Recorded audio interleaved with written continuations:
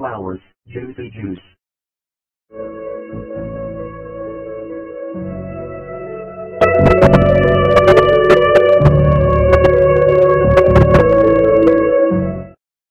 Download them using this vid too.